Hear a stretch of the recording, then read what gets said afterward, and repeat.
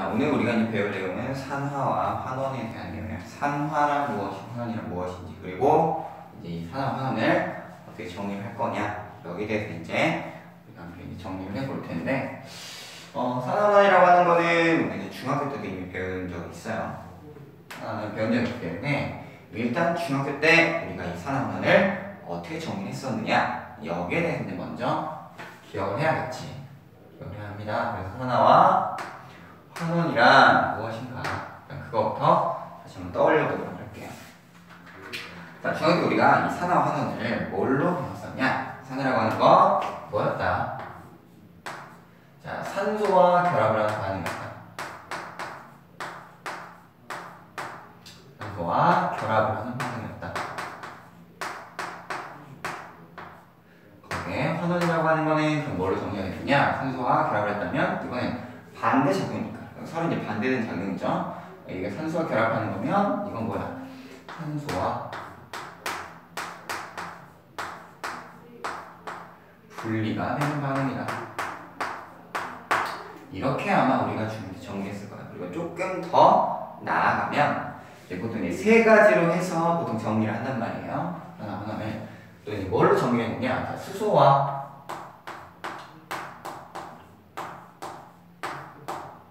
분리되는 것이 산화이고 수소와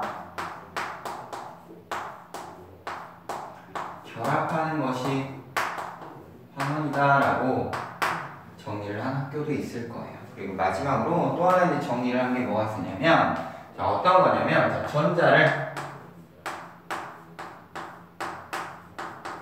잃는 반응 전자를 잃는 것은 산하고 자, 그리고 이제 전자를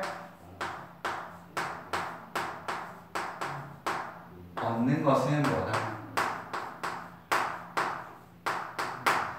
환원이다 이렇게 정리를 한 적도 있을 거예요.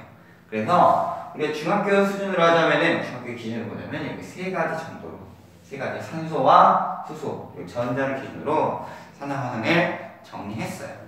근데 이제 우리 이제 고등학생이잖아요. 이제 화학 원을 배우는 어차피 화학원도 거의 마무리 단계이기 때문에 정확한 의미를 알아야겠지.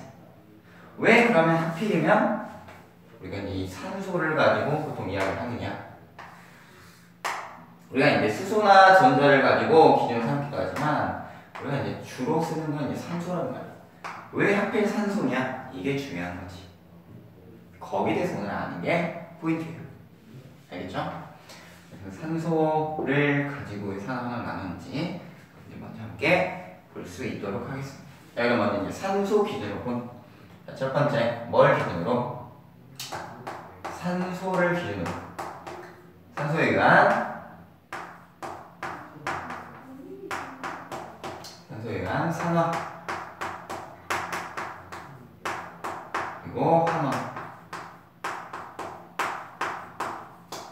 여기에 대해서 일단 먼저 함께 알아볼 수 있도록 하겠습니다. 자, 자, 산소가 이제 이동을 함에 따라 산화 환원이 정리가 되는데 예를 들자면 이런 거예요.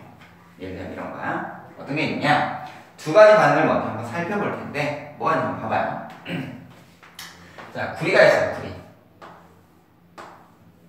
두 개의 구리가 있을 때, 자, 이 구리가 누구와 반응을 하냐면 연소 반응을 시킬 거야. 그러니까 산소와 결합을 하는 거지. 결합을 합니다. 결합을 함으로써 이제 어떻게 되느냐? 두 개의 CuO 산화구리 두 개의 산화구리를 만들어 내게 돼요. 자 그러면 여기서 일단 이 CU 구리의 상황을 한번 봅시다. 구리는 처음에는 어땠어? 처음에는 어땠어요? 따로 구리 금속이었어. 근데 이 구리 금속이 어떻게 됐냐? 누구랑 만나서 누구랑 만나서 CO라고 하는 CO라고 하는 요 산소와 만나서 뭐가 됐어요? 산화구리가 됐잖아요. 그래서 산소와 결합을 했죠. 그럼 이 반응을 뭐라고 할 수 있을까? 아 이거는 뭐구나 산화구나라고 정리를 할 수가 있는 겁니다. 산화 누구랑 결합했기 때문에 산소와 결합을 했기 때문에 여기는 산화다라고 이야기를 합니다. 자 자, 두 번째, 그 다음 볼 화학식은 또 그럼 뭐가 있느냐. 두 번째, 하나의 화학식을 더 보고자 해요. 뭘 볼 거냐? 자, 여기는 이제 아까 만들어졌던 CO5를 볼게요. CO5를 한번 보겠습니다. 자, 이 CO5를 어떻게 할 거냐? CO5를 어떻게 할 거냐? 자, 이번에는 여기다 뭘 넣을 거냐? 코크스. 탄소를 넣을 거야, 탄소. 탄소를 넣고 가열을 합니다. 그러면 어떤 일이 벌어지냐면 여기는 CU 있죠. CU가 다시 원래대로 돌아와요. 원래대로 돌아오고 그리고 여기 C 있잖아. O 두 개가 만나서 뭘 만들어? CO2를 형성하게 됩니다. 이산탄소를 만들어내는 거죠. 자, 그럼에 따라서 이제 어떠한 일이 벌어지냐면 자, CO 산화구리가 어떤 상태가 됐어요? 다시 구리로 돌아가면서 자, 산소와 어떻게 됐나요? 분리가 됐죠? 산소가 분리되는 무슨 반응이 일어나더라? 환, 원 반응이 일어나더라. 환원이 일어나게 되었습니다. 자, 근데 여기서 한번 봅시다. 이 코크스, 이 탄소 가루 같은 경우는 탄소 가루를 이제 넣어줘요. 탄소를 넣어주면 탄소가 지금 어떻게 되었나 이걸 한번 보는 게 중요해요. 자, 이 탄소 같은 경우는 어떻게 됐어요? 탄소를 보면 탄소는 누구랑 만났어요? 누구랑 만났어? 자, 산소와 만났죠. 산소와 만났습니다. 자, 그렇게 됨으로써 어떻게? 얘는 뭐가 된 거예요? 산화가 된 거지. 그렇죠? 산화가 된 걸 볼 수가 있습니다. 자, 구리는 뭐가 됐고 산화구리에서 그냥 구리로 환원이 되었고 금속으로 다시 환원이 된 거죠. 거기에 이 탄소는 어떻게 됐어요? 이 산소 두 개가 만나가지고 탄소 두 개가 만나서 이산탄소로 산화가 된 것을 확인할 수가 있습니다. 자, 이를 통해 우리는 뭘 볼 수 있느냐? 무엇을 볼수 있느냐? 자, 아, 산소에 의해서 산화 반응과 환원 반응이 일어나는구나. 라는 걸 하나 볼 수가 있는 거고요. 음? 볼 수가 있는 거고. 그 다음 이 밑에 식을 보면 또 하나 알 수 있는 게 뭐냐면 산화 반응이 일어날 때 뭐도 일어나는구나. 환원 반응도 같이 일어나는구나. 어, 그러면 선생님, 왜 위에는 산화 반응만 일어나나요? 라고 생각을 할 수가 있는데, 여기는 물론 산화, 환원 반응이 일어납니다. 일어날 때 조금 이 의미를 하나, 이렇게도 생각을 해볼 수가 있는 거예요. 이렇게 생각할 수가 있는데, 어떤 걸로 생각할 수 있냐? 뭘, 음, 조금 다른 의미이긴 하지만, 다른 의미이긴 하지만, 이렇게도 한번 생각을 해보는 거예요. 어떻게 생각을 해보느냐? 여기 지금 산소 원자 두 개가 만나 있죠. 근데 지금 서로 어떻게 됐어? 떨어졌잖아. 서로 헤어졌잖아요. 그러면 얘, 이 산소 분자 입장, 산소 기체 입장에서는 각각 분리가 되기 때문에 각자 하나씩 결합을 했잖아요. 분리가 된이 반응을 뭘로 볼 수도 있다? 환원이라고 볼 수도 있다. 이거를 환원이라고 생각할 수 있는. 환원이라고 생각할 수 있는 게 아니라 환원 반응이에요. 환원 반응인데 이거를 산소에 대한 반응으로 보다 보니까 이제 미적지근하게 설명을 하는 거죠. 조금 미적지근하게 설명을 하는 거죠. 알겠어요? 자, 이 산화 환원이라고 하는 건 정확히 큰 의미가 있어요. 고등학교 때 배워야 될 정확한 의미가 있는데 그 의미를 알기 전에 이제 중등 수준에서 먼저 한번 살펴보는 거다라는 거. 일단 그렇게 이해를 하시면 되겠어요. 알겠나요? 자, 이렇게 보시면 되고 그래서 우리가 가장 기본적으로 이제 볼 수 있는 산화 환원 반응이지. 알겠어요? 거기다 이제 중요한 핵심 요소가 하나 있는데 핵심 요소가 뭐가 있느냐? 아, 자 이제 어떤 거냐면 뒤에 가서 다시 한번 설명을 하겠지만. 자 산화. 환원 반응은?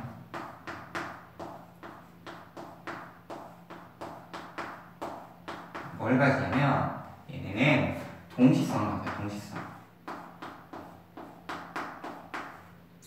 동시성을 가지고 있다라는 겁니다. 자, 동시성이라는 뭐야? 산화가 일어나면 환원도 같이 일어난다라는 거야. 산화가 일어나면 환원도 동시에 일어나게 되는 거죠. 그러니까 여기 산화가 일어날 때 환원이 됐죠. 여기도 산화가 일어날 때 환원이 된 거예요.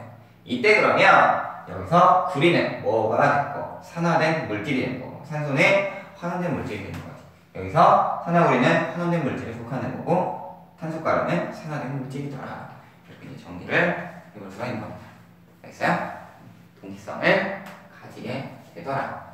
그리고 이제 여기에서 중요한 건 뭐냐면 어 여기서 이제 봐봐. 산소의 원자의 수 하나를 얻었지.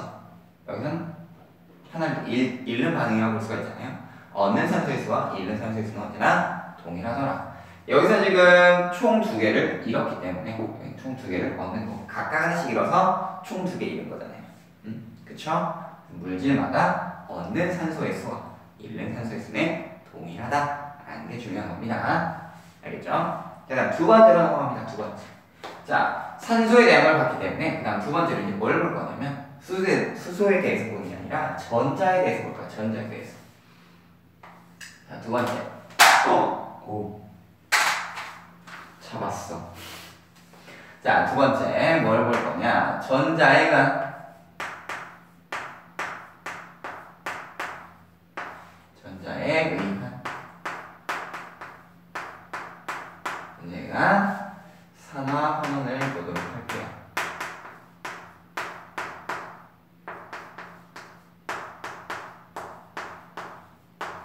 이걸 한번 살펴보겠습니다. 전자가 산화 환원인데, 그러니까 어, 쉬운 예시로 보면 이런 거예요. 음, 우리 이제 이온화 반응이잖아. 이온화 반응. 이온화 반응 보면은 간단해요. 예를 들어 근데 마그네슘이 있어. 책에 나온 걸로 해야겠죠. 자, 마그네슘이 있는데 이 마그네슘이 어떻게 되느냐? 마그네슘 이가 양이 되면서 이가 양이 되면서 어떻게 돼? 두 개의 전자를 잃습니다. 이런 반응이 있고 그다음 또 하나 이거는 이제 수소를 가지고 한번 해볼게요. 수소 저기 수소가 있으니까 자, 두 개의 수소가 있어요. 자, 이 두 개의 수소에 이제 뭐가 나요? 두 개의 전자 가 옵니다. 두 개의 전자가 와서 되게 H2 수소 기체를 만드는 반응이에요. 여기 볼 때 그러면 여기 이제 산화 환원을 어떻게 정리해 볼 수가 있느냐? 오늘 산화입니다. 산화. 여기 있는 마그네슘 같은 경우는 지금 어떻게 됐어요? 양이온이 되면서 지금 전자를 잃었죠. 전자를 잃었어. 자, 그러면 지금 뭐가 되었느냐? 산화가 되었습니다. 산화가 되었죠. 그러면서 어떻게 됐어? 전자를 어떻게 했다? 전자를 잃, 잃어버렸다는 거죠. 전자를 잃었습니다. 전자를 잃었고요. 자, 그 다음에 여기 수소 같은 경우는 어떻게 됐느냐? 수소가 뭐가 됐고 수소 기체가 되었는데 얘는 지금 어떻게 됐어요? 전자를 얻었죠. 그러면서 무슨 말이냐? 이거는 환원이 되는. 얘는 어떻게 했다? 전자를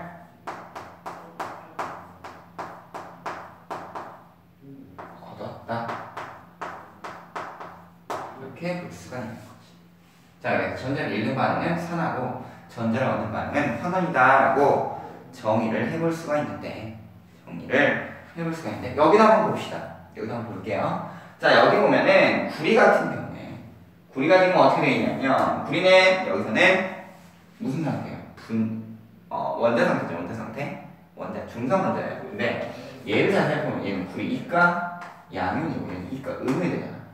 그럼 여기는 전자를 어떻게 해서 잃었죠.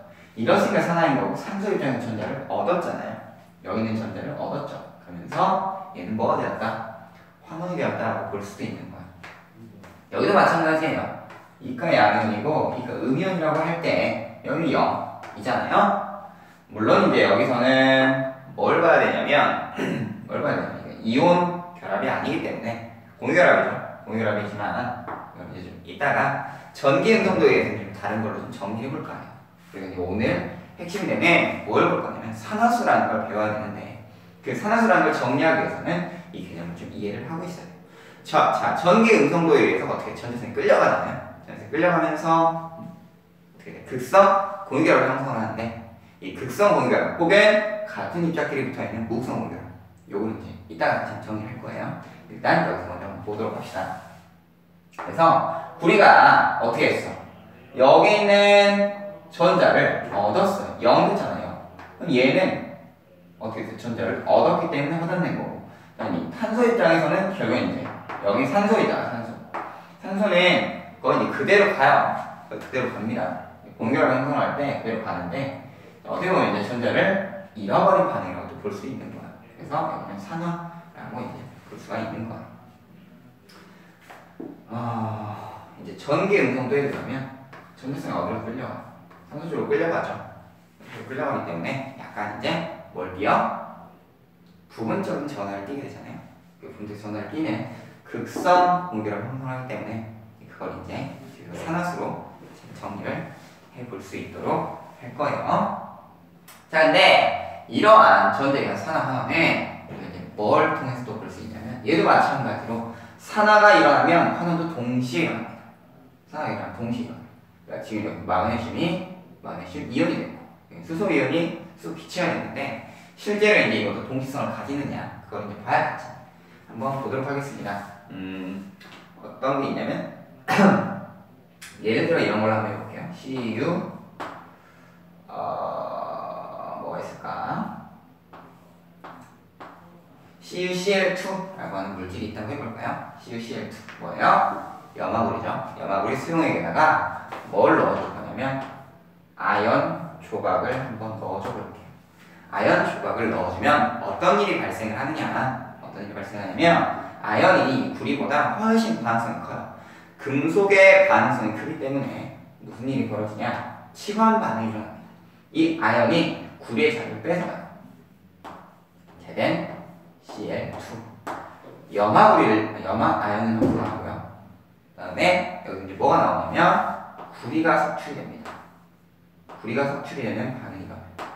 그러니까 그 뭐냐면 여기 염화구리 같은 경우는 물에 섞으면 구리 이온의 특성 때문에 푸른색 수용이 만들어져요. 푸른색 수용이 만들어질 때 여기 아연 조각을 넣잖아. 그러면 어떻게 되냐면 아연이 뭐가 되고 양이 된단 말이죠. 여기 지금 어, 구리가 이가 양이온이고 여기는 일가 음연이잖아요. 그쵸? 근데 여기서는 아연이 이가 음연이 되고 여기 일가 음연. 구리가 이렇게 그대로 나와버리는 거죠.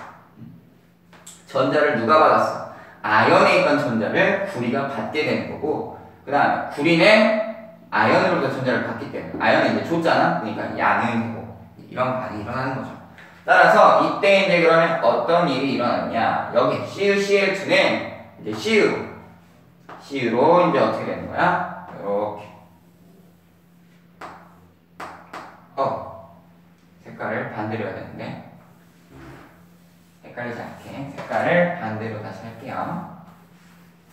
색깔을 잘못 썼어요. 자 먼저 아연의 입장에서 보자면 아연의 입장에서 보자면 아연은 지금 어떻게 됐냐면 아연은 어떻게 되었느냐? 자 지금 양이온 됐잖아. 그쵸? 그럼 전자를 뭐 했어 이름 반응해. 전자를 잃었다. 이렇게 뭐된 거다. 산화가 된 거다. 산화가 되었고 그 다음에 이 구리 입장에서는 구리는 지금 어떻게 됐냐면 CL은 그대로 있잖아 CL은 그대로 있는데 구리 같은 경우는 오, 또 부러졌네요 미리 잘 부러져요. 시간이 좀 지나서 그런 것 같다. 뭐가 됐어요? 환원이 되었다. CL만 변화, 염화 이온만 지금 변화가 없는 거죠. 그래서 CU, CL2 염화구리는 환원이 되었고 아연은 산화되어서 염화 아연을 형성을 하게 됩니다. 그럼 여기도 마찬가지로 뭐가 있나요? 여기도 마찬가지로 뭐가 있어? 산화 환원이 동시성 동시에 일어나게 된다. 동시성을 가지게 됩니다. 알겠어요? 근데 이때 보면은 전자 몇 개 움직였냐? 여기 지금 전자 몇 개 움직였어요? 아연에서 구리 쪽으로 전자를 몇 개 옮겨줍니까? 두 개 옮겨주죠? 그쵸? 두 개가 그러면 여기서 중요한 거 아까 저기서는 뭐가? 산소 원자 움직이는 잃어버리는 산소 원자의 수와 얻는 산소의 원자 수가 같았는데 이번에 뭐가 같아? 전자의 개수가 동일한 겁니다. 잃는 전자의 개수와 얻는 전자의 수가 동일하다. 그래서 항상 동시성을 가진 거죠. 저기 산소에 의한 산화하는 반응이 동시성을 가지지. 알겠나요? 자 이렇게 되는 거죠. 그 다음에 그러면 공유결합은 어떻게 되냐? 공유결합. 이건 이온결합이죠. 아까 이제 공유결합에 대해서 잠깐 설명을 했는데 이 공유결합에서는 산화 환원반이 어떻게 일어나냐면 이런 식으로 일어납니다. 예를 들어서 어, 자 수소기체와 수소기체와 염소기체가 만난다고 해봐요. 그럼 둘이 만나서 뭘 만들지? 두 개의 HCl 염산을 염화수소 염화수소 기체를 형성을 해요. 염화수소 기체를 형성을 하는데 이때 그러면 어떻게 되느냐? 얘는 지금 공유결합이니까 이온화하지 않아요. 뭐 전자를 얻거나 잃거나 하지 않아. 단순히 결합을 할 뿐인데 그러면 이때는 뭘 보고 봐야 되냐면 뭘 보고? 전기 음성도를 봐야 돼.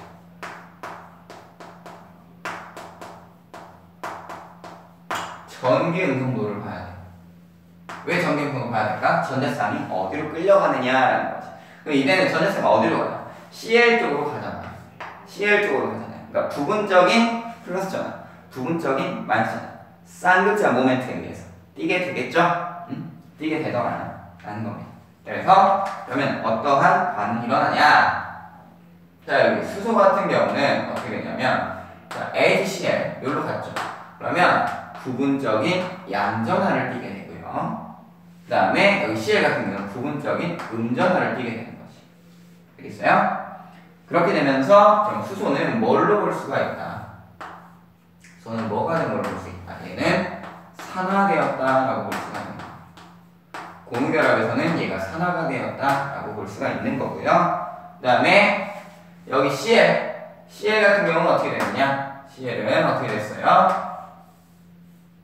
음전화 띄겠지. 부분적 음전화 띄잖아요. 그러니까 전자를 얻는 반응이지. 이것도 마찬가지로 환원이라고 볼 수가 있는 거죠. 이때 전자는 몇 개 움직이느냐? 여기 지금 몇 개 움직였어? 이 두 개의 전자가 어디로 갔습니까? 자, 두 개를 줬죠. 두 개를 줬고 CL은 두 개를 받았고 이런 반응이 일어나는 거죠. 알겠나요? 그래서 산화와 환원을 정리를 해볼 수가 있겠다라는 거죠. 음. 알겠습니까? 이렇게 이제 볼 수가 있는 거죠. 어, 자 이제 마지막으로 이제 세 번째 볼 거는 뭐냐면 세 번째 세 번째 볼 거는 이제 뭐냐면 산화수 라는 걸 볼 거예요. 산화수. 자, 이 산화수라는 게 뭐냐? 산화수라는 건 뭘 얘기하는 거냐면 물질에 어떤 게 산화가 되었고 어떤 게 환원이 되었느냐라고 하는 뭐냐면 가상 전화예요. 가상의 전하량입니다.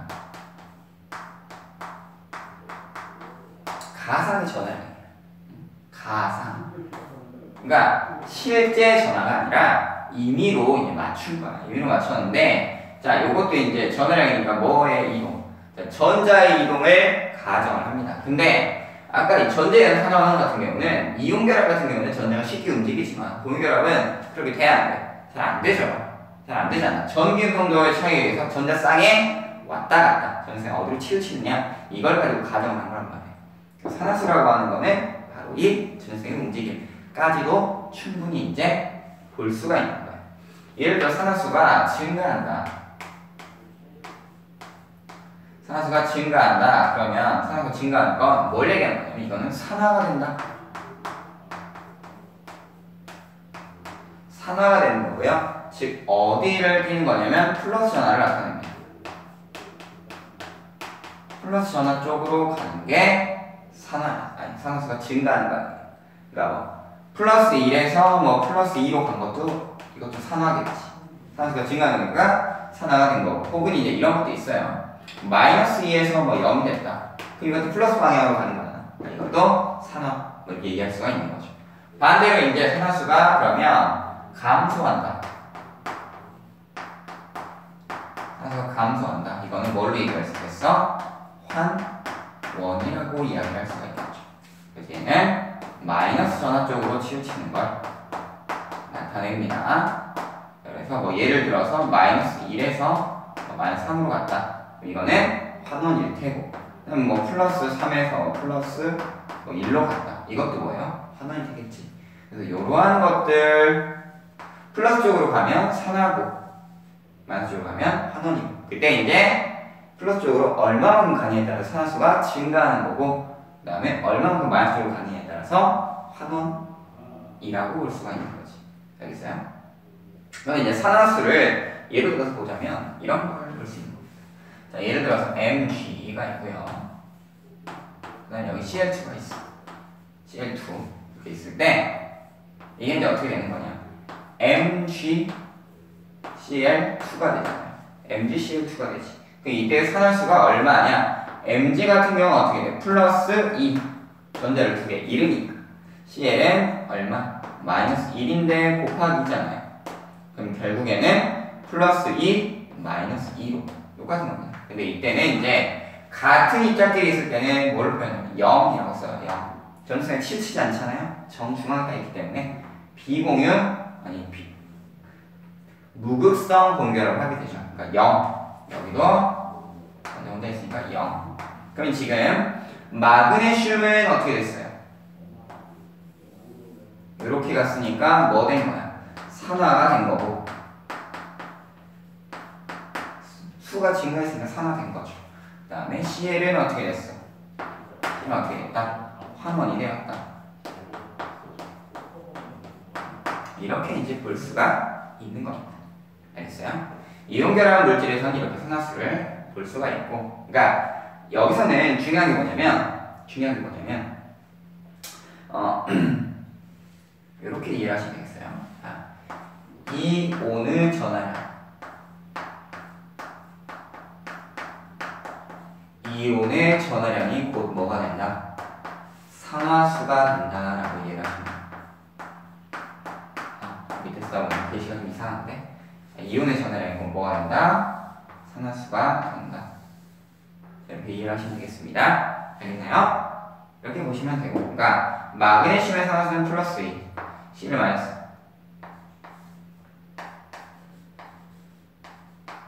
얘는 산화수가 플러스 2고, Cl 마이너스는 이렇게 이온 전하량이고 산화수가 된다. 그럼 공유결합에서는 어떻게 되나? 공유결합은 어떻게 되냐? 자, 공유결합은 어, 전기 음성도를 봐야겠지. 전기 음성도. 전기 음성도가 큰 쪽이 곧 전자쌍을 다 가진다라고 가정해. 그럼 마이너스를 띄겠지. 마이너스를 띄니까 예를 들어 이런 거야. 음, 하, 어떤 게 있을까요? 자, 뭐 SO3, 뭐 SO4라든가 뭐 이런 거 있잖아. 이거는 우리가 이제 다전자 이온 같은 경우에 볼 수가 있는 건데 SO4 이가 마이너스나 아니면 또 뭐가 있을까요? 예를 들어서 어, 뭐 NO3 마이너스 뭐 이런 거 한번 예로 들어볼까요? 그다음에 뭐 NH4 플러스 뭐 이런 게 있다라고 하면 얘들 다 이제 다전자 이온 아니 다원자 이온이잖아요. 이 다운제 이온들의 이 전화량 그럼 어떻게 매겨지는 건가? 라는 거지. 이런 거는 이제 어떻게 매겨지냐면 어떻게 매겨지느냐? 황 같은 경우는 여기가 이제 산소 같은 경우에 이제 총 마이너스 2짜리가 몇 개 있냐면 4개 있어. 그래서 마이너스 8이에요. 그럴 때 황이 얼마를 가지냐? 플러스 6을 가져요. 하다 보니까 플러스 6에 마이너스 8이 된단 말이에요. 그래서 전화량이 마이너스 2가 됩니다. 이렇게 되고요. 그 다음에 오 분필이 오늘 잘 부러지네. n 같은 경우, o 같은 경우 여기 마이너스 2에 3개가 있어. 그래서 총 얼마 되냐? 마이너스 6이 됩니다. 여기는 플러스 어, 5예요. 그래서 여기는 총 얼마? 마이너스 1이 되는 거. 여기 NH4 플러스 같은 경우는 어떻게 되냐면 자 H가 몇 개냐? 플러스 1짜리가 4개 있다라고 얘기를 해요. 네, 여기가 얼마냐? 마이너스 3이 됩니다. 그래서 플러스 2이 됩니다. 그럼 봐봐. 여기서는 질소가 플러스 5인데 여기서는 또 마이너스 3이에요. 그럼 이걸 어떻게 봐야 될까라는 거지. 대체 이걸 어떻게 구분을 해야 되느냐라는 거죠. 어떻게 구분을 해야 되느냐. 자, 여기서 이제 산화수의 규칙이 등장을 합니다. 산화수를 정하는 규칙이 있어요. 자, 규칙, 규칙. 규칙. 너무 노란색만 써가지고 흰색을 쓰도록 하겠습니다. 자, 규칙이 있는데, 자, 첫 번째 규칙. 첫 번째 규칙은 뭐냐? 음, 다른 색깔 한번 써볼게요. 다른 색깔. 첫 번째 규칙은 뭐냐면, 자, 홀전, 호전성 물질. 호동수 물질은 얼마로 잡냐면 호동수 물질은 산화수가 얼마냐? 산화수가 0이라고 이야기를 해요. 호동수 물질은 산화수가 얼마다? 0이다 라고 이야기합니다. 0이라고 이야기를 하고요. 그 다음에 두 번째 두 번째 뭐가 있냐면 이원자예요. 이원자 이온 같은 경우는 어떻게 얘기를 하느냐? 전화량이 건 뭐가 되냐면 전화량이고 산화수예요. 이렇게 됩니다. 아까 이제 이온산이랑 산화수다 이거 이야기하는 다원자 이온 같은 경우 좀 다르죠? 좀 다르고 자, 그 다음에 세 번째 세 번째 음, 자 다원자 이온 같은 경우는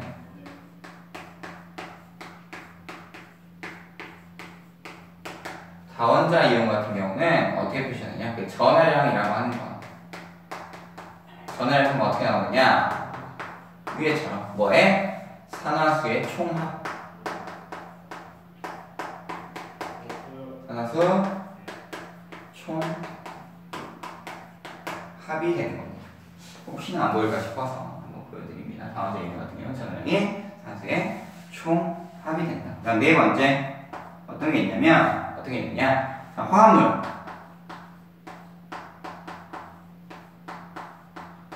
화합물은 산화수 총합은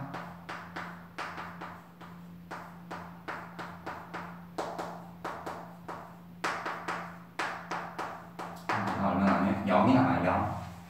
그러니까 얘 같은 경우는 MPCl2라고 했을 때 플러스 2, 마이너스 1이 두 개 있으니까 합하면 0이잖아요.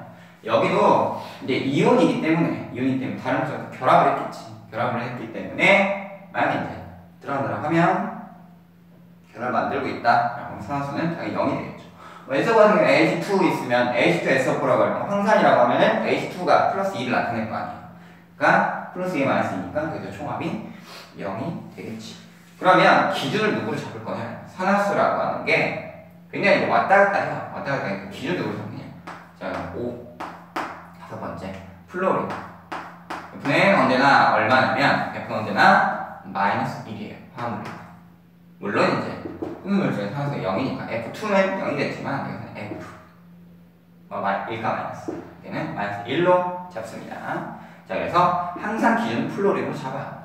그 다음 여섯 번째 또 어떤 기준이 있냐? 자, 산소 산소 산소 같은 경우에는 얼마로 잡느냐? 산소 음.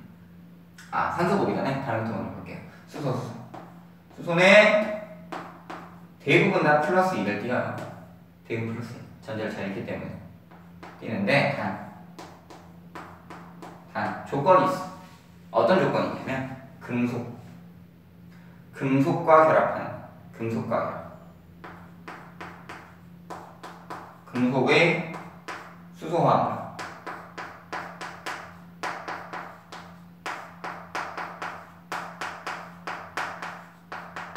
마이너스 1입니다. 금속 수소화합물은 마이너스 1. 그러니까 어떻게 되냐면 예를 들어서 이런 어, 어 예시니까 다른 색깔로 해보자면. 자 NaH 이런 물질이 있어. 이때는 어떻게 되냐? NA가 얼마냐면 이게 플러스 1이에요 여기가 마이너스 1이 됩니다 이때는 마이너스 1이 되는 겁니다 알겠어요? 음? 이렇게 보시면 되고 일곱 번째 이제 우리의 산소가 나와지 자, 산소는 보통 얼마냐면 산소는 보통 마이너스 2를 나타내. 근데 산소가 다른 산화수를 가진 경우가 두 개가 있는데 자, 플로린 화합물. 플로린과 화합물. 화합물을 형성할 때는 이때는 플러스 2가 돼. 왜냐면 음성도가 누가 커? 플로린이 제일 커요. 그러니까 전자쌍을 빼앗기는 거예요. 그러고 이거는 플러스 2가 되는 거죠. 알겠어요? 플러스 2가 되고 그 다음에 이쪽 또 하나의 경우가 있죠. 과산화물. 과산화물 같은 경우는 이때는 마이너스 1입니다. 예시가 뭐가 있냐면 예를 들어 어떤 게 있냐면 아 자꾸 이제 밑으로 들어가는데 하나만 써볼게요. 하나 해보자면 뭐가 있냐면 아, H2O2 과산수 같은 경우는 이때 여기가 플러스 1 마이너스 1이에요. 여기가 이제 플러스 2 되고 마이너스 2 되겠지. 이런 식으로 형성이 돼요. 음, 알겠죠? 이런 식으로. 어, 클로린과 화합물은 이제 예를 들어 어떤 게냐? OF2 이런 게 있어. OF2. 요 경우에는 이제 어떻게 되냐면 아, 물론 이제 무조건 플러스 2가 되지 않아요. OF2. 어, 플러스 1도 물론 나타날 수는 있어. O2, F2 이런 거 같은 경우는 그건 이제 나중에 좀 더 복합 과정 되면 설명을 하고요. 설명을 하고 여기서 이제 반대해 보자면 이렇게 이제 볼 수가 있는 거지. 이때 이제 플로린이 얼마가 되냐면 여기가 마이너스 2야. 마이너스 1 곱하기 2니까 그럼 얘가 플러스 2가 돼야 0 될 거 아니에요?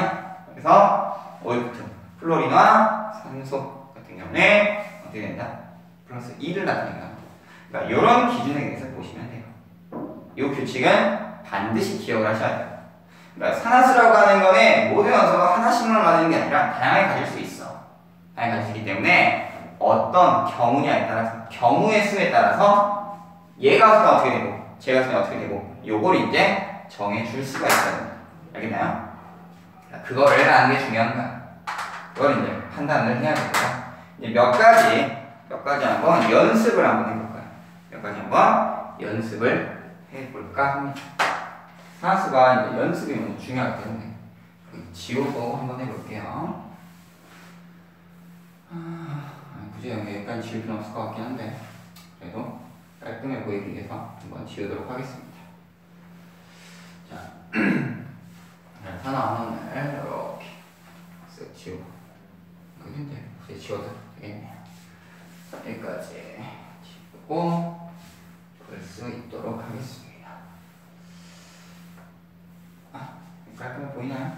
규칙은 확인해야 되니까 실제로 이제 그렇게 되는지 참고하시라고 남겨두도록 할게요. 그럼 실제로 이제 산화수가 어떻게 어 이제 나타나는가 그거 한번 볼 수 있도록 할게요. 어, 자, 네 번째. 네.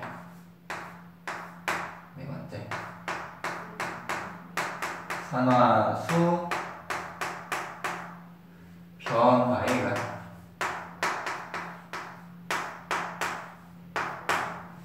의한 의한 산화 그리고 한원 볼수 있도록 할게요. 산화수에 의한 산화 환원 관계 한번 보도록 하겠습니다. 여기서 이제 몇 가지 물질을 볼 텐데 어, 우리가 이제 익숙한 물질들을 한번 몇 가지 생각을 해볼게요. 음, 뭐가 있을까? 딱히 뭐 생각나는 책좀 참고해 볼까요? 음, 책에도 뭐 별게 없네요. 책은 별게 없기 때문에 아 뒤에 가면은 문제가 하나 있어요. 그걸 한번 이크로메산 칼륨이랑 그다음에 산화크로뮴 요거 가지고 한번 산화수를 한번 정리를 해보도록 할게요. 네, 요거는 한번 참고를 해봅시다. 자, 두 개, 두 개의 K2 칼륨 두 개에다가 칼륨 두 개 맞죠? 그다음 크로뮴이 두 개 있고요. 그다음에 산소가 일곱 개 있어요. 어, 상태도 한번 펼쳐줘 볼까? 수용액이죠. 다이크로뮴산 칼륨 그리고 이제 여기다 이제 뭘 섞으면요? 사, 어, 물. 아, 섞는 게 아니죠. 물이 이제 원래 들어있으니까 여기다가 3S 황 고체 황을 넣었습니다. 그리고 이제 반응을 시켰더니 어떻게 됐냐면 4KOH 어, 수산화 칼륨 이 생겼고 그 다음에 두 개의 2O3 산화크로뮴 생겼죠? 산화크로뮴 우리 안에 고체 형성이 되고 그리고 세 개의 뭐가 형성이 됐어? SO2가 형성이 됐더라. 이제 어, 기체가 돼서 날아갔어요. 이산화 황이 형성됐죠. 자, 그럼 이제 여기에서 그러면 산화수가 어떻게 변하느냐 한번 봐야죠. 산화수의 변화를 한번 볼 텐데, 자 하나씩 봅시다. 자, 그러면 먼저 뭘 기준으로 삼느냐? 기준으로 삼는 건 플로린, 수소, 산소 세 개 중에 하나, 세개 중에 하나인데, 어, 우리가 이제 보통 과산화물 같은 경우는 과 어쩌죠? 과망간이산 나트륨 뭐 이라거나 이렇게 이제 이름이 붙어요. 과망간이산 칼륨 뭐 이렇게 얘기해요. 그쵸? 그러니까 과산화, 과산화수소나 아니면 이런 게 아닌 이상은 과라는 말이 안 붙으면 산소는 얼마로 잡아주느냐? 얘는 마이너스 2로 잡아준다. 그럼 봐봐. 마이너스 2에다가 곱하기 7이니까 총 얼마 나와요? 곱하기 7이니까 총 14가 나오겠지. 14가 나오는데 그 다음에 이 산화수에 또한 규칙이 하나가 있는 게 절대 네, 최외각 전자의 수를 넘을 수가 없어. 거. 잃는 게 넘을 수가 없어요. 여덟 개 채우면 그래 끝나. 그러면 얘 같은 경우, 칼륨 같은 경우는 얼마가 되냐? 마이너스 1 곱하기 2가 돼. 얼마 나와? 플러스 2가 나오는 거지. 여기 마이너스 14고.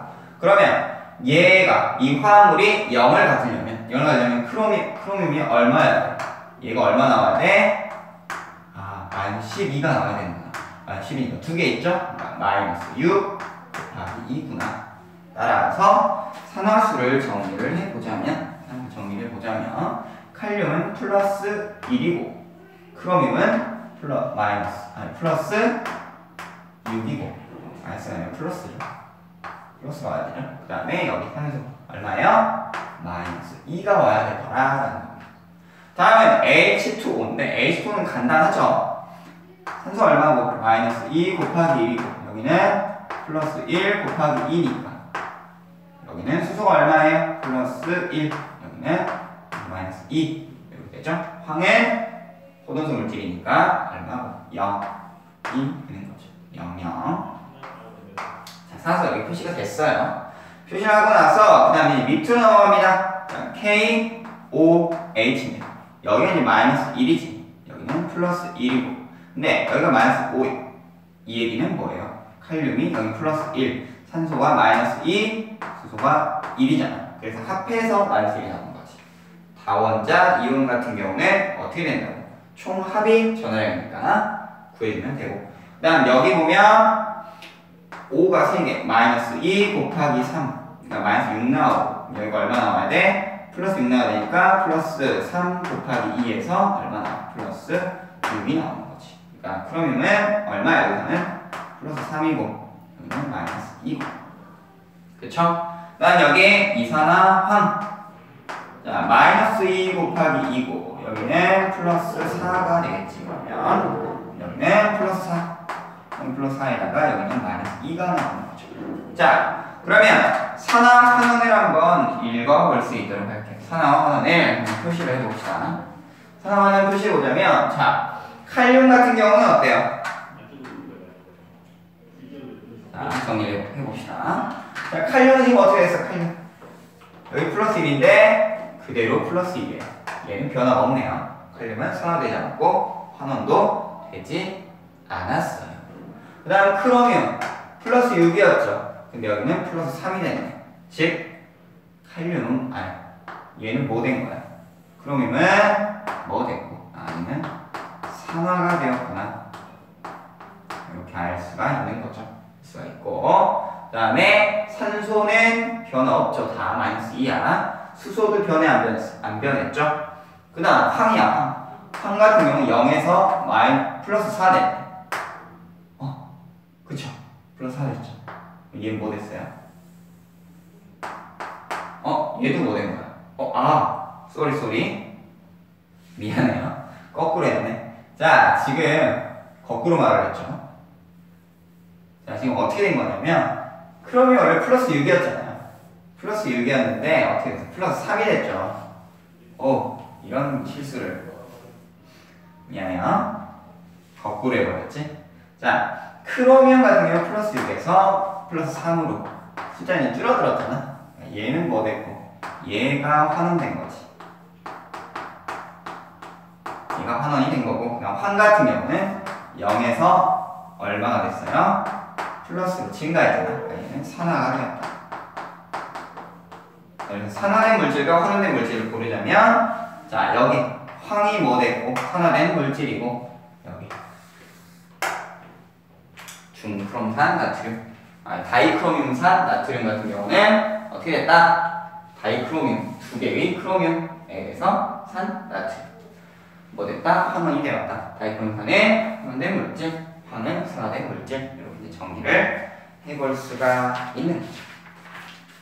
정리를 해볼 수가 있습니다. 자 이제 마지막으로 볼 거는 이제 추가로 하나 더 볼게요. 중요한 거 하나 살펴볼 텐데 중요한 거 하나 볼게요. 뭘 볼 거냐? 산화제와 환원제에 대해서 한번 볼게요. 산화제와 환원제에서 볼 텐데 우리 그 소화제 소화제 소화제는 뭘 할 때 먹어? 소화시키기 위해서 먹는 거죠. 응? 소화시키 지사제는 설사막을 변비약은 왜 먹어? 잘 나오게 하려고 먹잖아요. 그러니까 산화제라는 이름, 환원제라는 이름은 뭐냐면 산화를 시켜주는 거, 환원을 시켜주는 거. 예를 들어 하나 볼게요. 예를 들어 하나 볼게요. 우리가 물을 한번 예를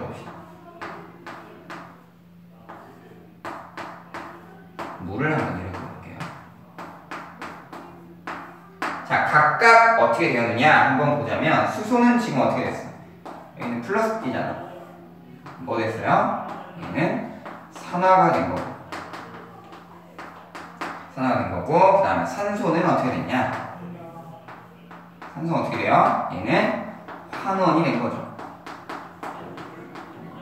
그쵸? 산화가 되었고, 환원이 되었단 말이에요. 그럼 이거를 자세히 한번 살펴봅시다. 조금 다른 관점에서 보자는 거예요. 자, 산소는 누구랑 결합을? 수소랑 결합을 하죠. 수소랑 결합을 하면서 어떻게 했느냐? 자기는 뭐 되면 환원이 되면서 수소를 뭐 시켰어? 환화를 시켰죠. 아니 산화를 시켰잖아. 그럼 이거는 뭐가 되는 거냐면 다른 말로 바꾸면 산화제라고 할 수가 있는 거야. 산화제라고 할 수가 있는 거야. 나는 뭐 되면서 환원이 되면서 옆에 걸 뭐 시켰어? 산화를 시켜준 거지. 반대로 수소 같은 경우는 어떻게 돼서 산소랑 결합을 하면서 산소가 어떻게 돼? 환원됐잖아요. 본인이 전자를 어떻게 해서 전자상을 밀어 넣어가지고 응? 전자상을 줬죠. 음성도가 작다 보니까. 그러니까 본인의 뭐 되면서 산화되면서 환원시킨 거. 이걸 뭐라고 해? 환원 제가 즉 환원이 되었다라는 거는 다른 말로 바꾸면 뭐야? 산화제다. 산화가 되었다라고 하는 건 환원제다라는 거지. 비슷한 말로는 뭐가 있냐면 산화제의 비슷한 말로는 산화력이 강하다. 산화력이 강하다 뭐 이렇게 표현할 수가 있는 거야. 산화력이 강하다. 자, 얘는 뭐야? 뭐가 환원력이 강하다라는 말. 요 말이랑 똑같은 거야. 그러니까 산화시키는 성질이 강할수록 그러니까 본인이 환원이 잘 되면 산화를 잘 시켜. 그럼 뭐가 강한 거고? 산화력이 강한 거고 좋은 산화제다 라고 표현을 할 수가 있는 거고 그 다음에 본인이 산화를 잘해. 그럼 옆에 걸 뭘 잘 시키고 환원을 잘 시키겠죠. 그러니까 좋은 환원제 그리고 환원력이 강하다 라고 이야기를 할 수가 있는 거죠. 알겠어요? 그러니까 산화력이 강해서 뭐가 잘 돼? 환원이 잘 되는 거야. 그러니까 다른 물질보다 환원이 강, 강하고 약하고 이런 걸 표현할 수가 있는 거지. 근데 우리가 중학교 때 산화와 환원을 뭐라고 이야기를 했냐면 산소와 결합을 하고 산소가 분리되는 거라고 얘기했어. 왜 그랬느냐? 이 산소에 대해서 우리가 한번 생각을 해봐야 돼. 이 산소에 대해서 이 산소라는 친구에 대해서 우리가 생각을 해봐야 된다. 산소. 산소는 전기 음성도가 얼마예요? 전기 음성도가 3.5입니다.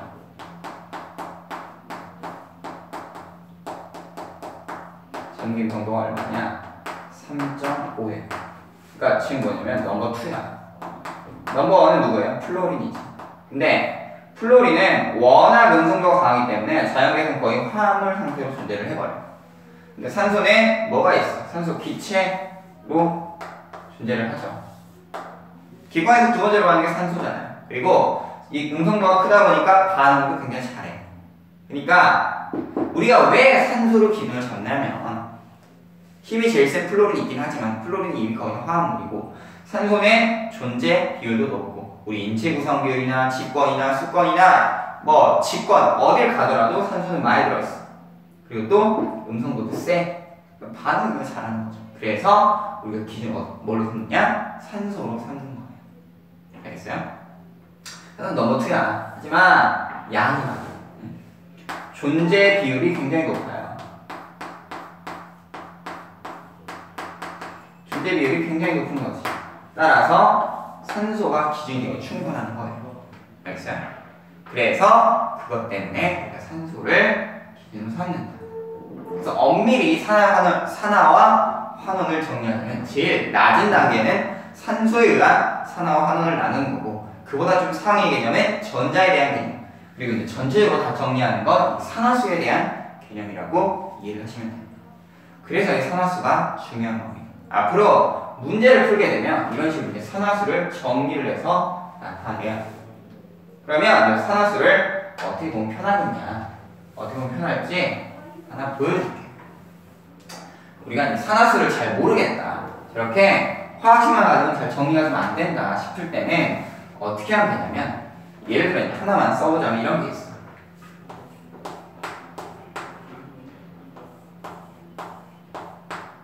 뭐 이거 있다고 쳐봐요. 이거 있다고 쳐봐.